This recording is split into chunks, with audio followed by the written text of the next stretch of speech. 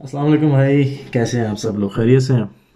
उम्मीद करता हूँ सब लोग खैरियत से होंगे। अच्छा आज ये वीडियो बनाने का मकसद ये है कि भाई, कोई पिछले बारह दिन से मैं ग्यारह बारह दिन से ना, पाकिस्तान से फ्लाई किया है यूके के लिए, घर से निकला तो यहाँ पहुँचते पहुँचते दस बारह दिन हो गए। अब आप सोच रहे होंगे कि भाई, बारह दिन से निकले हुए हो तो अभी यूके पहुँचे हो, रास्ते में क्या कर रहे थे? तो रास्ते में ये कर रहा था भाई कि मैं निकल गया था ना, वहाँ से इस्लामाबाद से इस्तांबुल। दस दिन वहाँ गुजारे।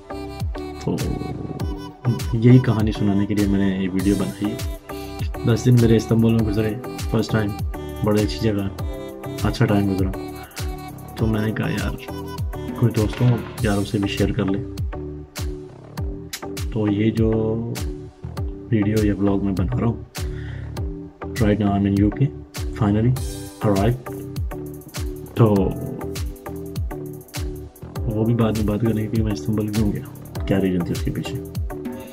शायद मोस्ट ऑफ़ द लोगों को तो पता हो, लेकिन जिनको नहीं पता, उनके लिए बता दूँगा। कि पहले तो ये वीडियो देखें, फिर एंड बताऊँगा कि मैं वहाँ क्यों गया। ठीक है? वीडियो देखते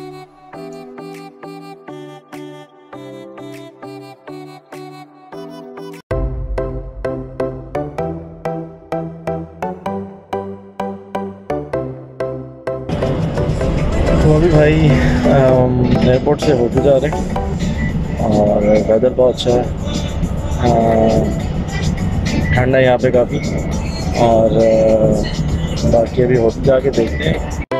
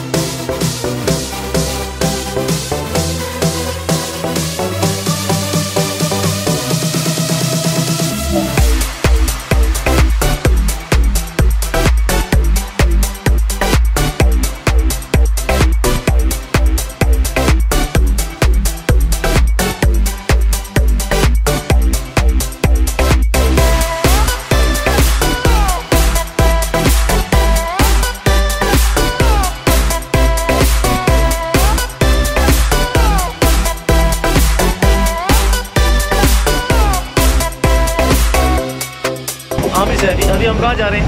अभी हम तुर्की के बॉर्डर पे जा रहे हैं। बॉर्डर पे जा रहे हैं एशिया साइड एशिया साइड पे। बहुत मज़ा आ रहा है। बहुत अच्छा व्यू है सारा। इंजॉय हो रहा है बहुत। मज़ा आ रहा है? मज़ा आ रहा है। ये हम हैं। ये हमारी बोट है। और ये एंजॉय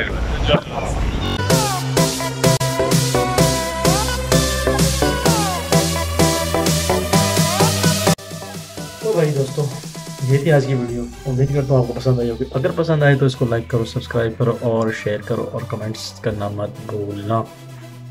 तो अभी के लिए अल्लाह हाफिज़।